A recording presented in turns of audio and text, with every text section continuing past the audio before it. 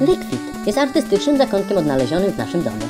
Jako pojęcie określa dla mnie pewną wyidealizowaną strategię działania, czerpiącą z królestwa grzybów, które w moim odczuciu wykazują najbardziej ekonomiczną filozofię życia dzięki najlepszemu skanalizowaniu potencjałów i wykorzystaniu zasobów.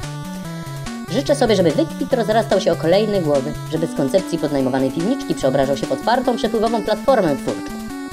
Integracja w pełni ujmuje i obnaża najszczersze intencje potencjalnych uczestników Triennale. Jeżeli porzucilibyśmy wytwarzanie pośrednika, sztuki, moglibyśmy w pełni użyć naszych zasobów do integracji.